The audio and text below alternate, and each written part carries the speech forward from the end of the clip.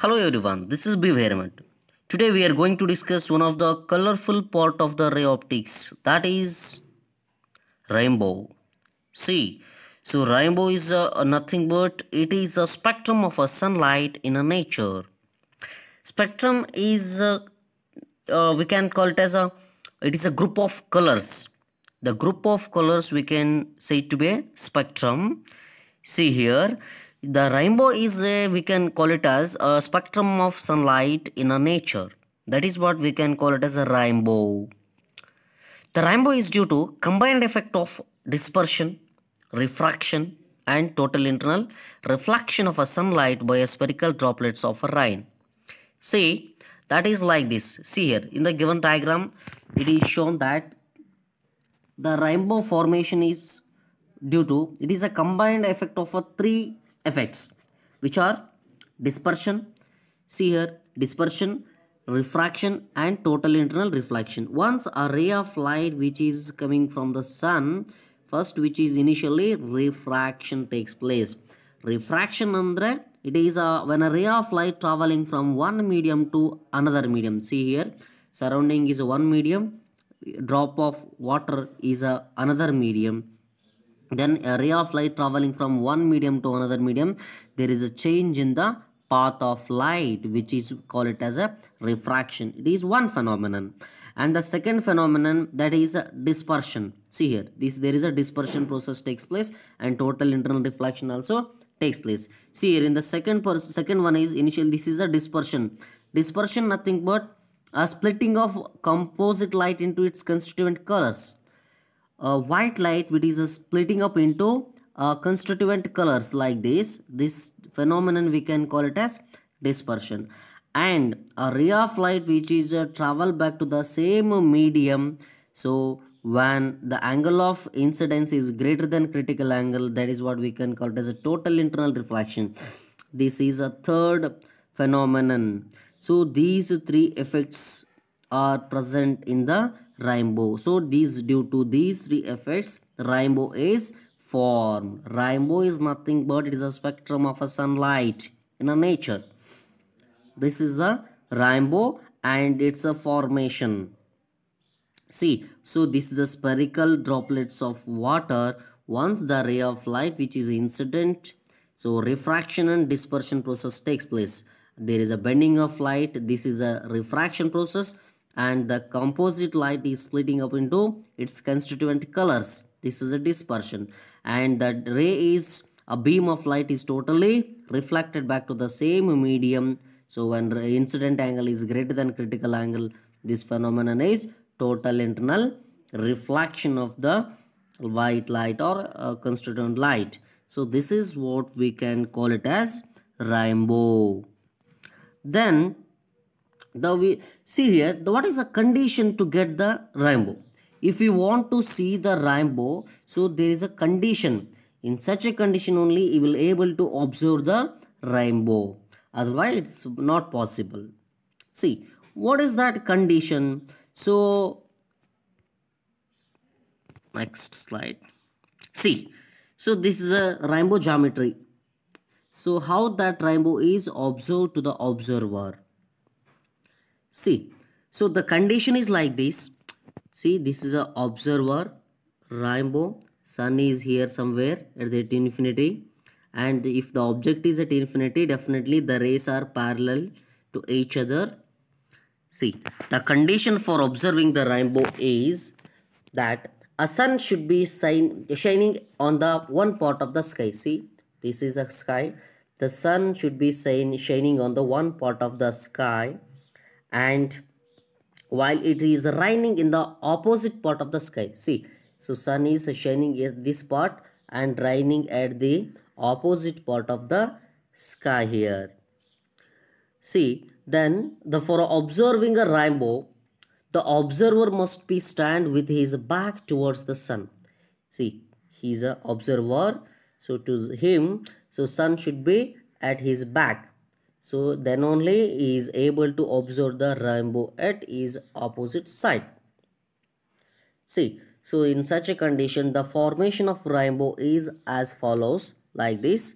I will explain right now. When a parallel beam of light see if object is at infinity sun he is a object here. So if the object is at infinity the rays are parallel to each other. Then when a ray of light or a beam of light sunlight fall on the raindrop these rays are parallel beams.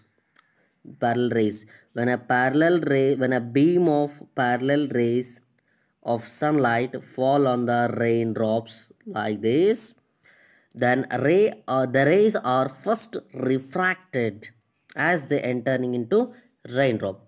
See those rays are first refracted as they entering into the drop water drop or a raindrop. Then so the deviation will be so uh, different for a different wavelength. See so there is a deviation takes place. Deviation nothing but here a ray bending of light. The light is a bending takes place but that bending is a depend on the wavelength of light. See if the wavelength is more then bending is less deviation is less.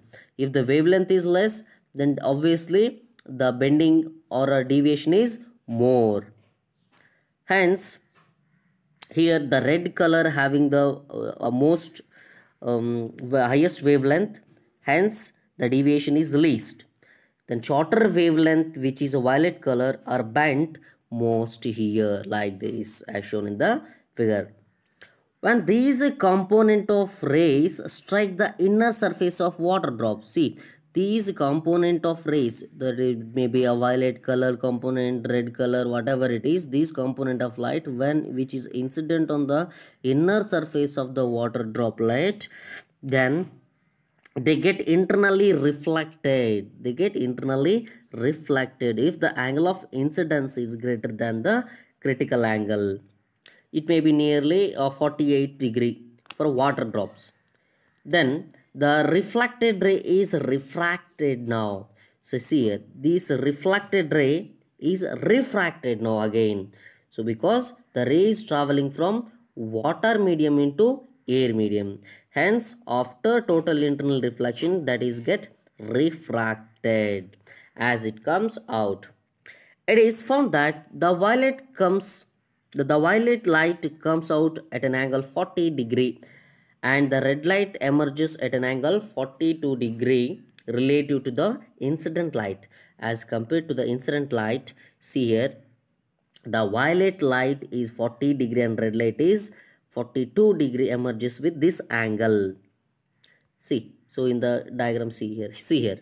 So as compared to the sunlight so this is the angle between these two. So violet light having 40 degree and red light having 42 degree for other colors the angle lies between these two. See here between these two all other colors are present. Hence the angles lies between these two so actually these two values between these two values there is actually remaining colors are present. Actually this is the geometrical uh, rainbow formation. So how that rainbow form see students this is the notes of a rainbow the next part is the types of uh, primary and secondary rainbows. So in the given figure we seen that the formation of primary rainbow the rays undergo total internal reflection once inside the drop. The violet light from our drop 1 see here there are four drops are given in the figure. So drop 1 drop 2 drop 3 drop 4 like this. So and so from the drop 1 and 2 we will get the primary rainbow. From 3 and 4 drop we will get secondary rainbow. So if you want primary rainbow the rays undergo total internal reflection once inside the drop. See here inside the drop if there is a only once total internal reflection takes place then we'll get primary rainbow. If there are two total internal reflections takes place then the observer get the secondary rainbow so as per like this so explanation like this as given in the uh, figure it is seen that the formation of primary rainbow the rays undergo total internal reflection once see here once inside the drop. The violet light from a drop 1 and red light from a drop 2 reaches the observer eye see. So so once the ray of light which is uh, fall on the drop 1 and drop 2 so here first the refraction process takes place. Later total internal reflection process takes place. Then again there is a, a dispersion process takes place. See refraction total internal reflection and dispersion. So due to dispersion what happens here? The rays are divides. Nothing but the colors of a light that is so divides. When white light is splitting into composite uh, colors constituent colors like white light which is uh, divides or split up into constituent colors as a violet and red. Remaining colors are between these violet and red. See from a drop one the observer observes the violet and from the drop two observer get the red light. So this is observes like this is totally he can say to be primary rainbow. In the primary rainbow red light is at the top and the violet light is at bottom. So this is what you can call it as this is the primary rainbow. Then so what about uh, secondary rainbow? Actually so primary rainbow is a three steps process in which refraction total internal reflection and dispersion so dispersion in the dispersion again refraction process only takes place. Refraction process only takes place. Hence so as per like this so see here therefore the observers in the rainbow with the red color on the top and violet color on the bottom then it is a three step process that is a refraction reflection and refraction. First refraction reflection and refraction. Three steps process. When the light from the sunlight undergo two internal reflections inside the raindrop. See in the raindrop if the two internal reflection process takes place then there is a secondary rainbow is formed. When a ray of light sunlight which is undergo two internal reflections once at here again once at here so again refraction process. So during this process there is a secondary rainbow is formed. So it is a four step process. Actually secondary rainbow is a four step process in which first one is refraction, total internal reflection, again total internal reflection, refraction process. It's a four step process. Hence the intensity of a secondary rainbow is much smaller than the primary rainbow. In this, the observer see violet color is on top and red color is at the bottom. So according to him, here, so the violet color is on top and red color is on bottom in the secondary rainbow. In the other words, the order of the color in the secondary rainbow is just reversed as compared to the primary rainbow. In the primary rainbow, violet color, red color is top, violet is colored, violet color in on the bottom. But it's a reverse process in the secondary rainbow. Actually, this is the formation of the rainbow and the types of rainbows, primary rainbow and secondary rainbow. The next one of the important and uh, next another colorful part of that is a scattering of light See, scattering of light we observed in so many cases. Naturally, we are observing sun, sun, sun at the sunset and sunrise, which is appears like a reddish color. Why it is a reddish color?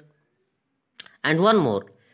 So normally in the daytime, the sky which is appears like a blue color. Why? So behind this, there is a reason that is because of the scattering of light. Now we want to know what is meant by scattering of light. See, when a beam of light traveling through a medium, the particles of the medium that deviate the rays of light laterally, this phenomenon is called as a scattering of light.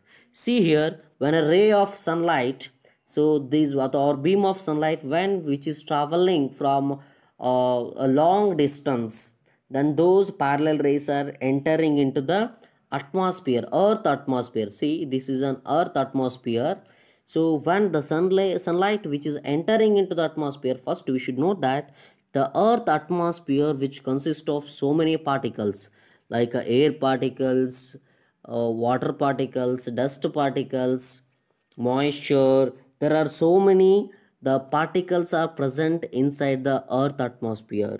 Once the ray of light which is entering to a earth atmosphere that is a medium we can say to be a medium See, when a beam of light traveling through a medium, this is atmosphere is one medium now. When a beam of light traveling through a medium, the particles of the medium deviate the rays of light laterally.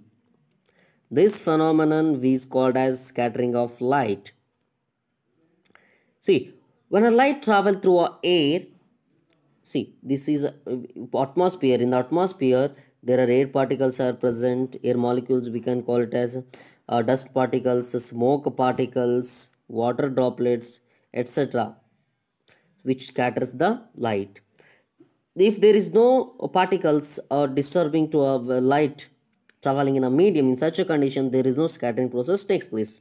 Nothing but there is no scattering in vacuum in the vacuum there is no particles are present it is a completely free space. Hence, there is no scattering in the vacuum. See, scattering is again two types. One is a coherent scattering, another one is incoherent scattering. What is meant by coherent scattering? When a wavelength of a scattered light is the same as that of the incident light, it is called as coherent scattering. See, if when a sunlight of certain wavelength like you can take it as a red red color light. See when this red colored with a somewhat wavelength once which is incident on the particle so that is a get scattered.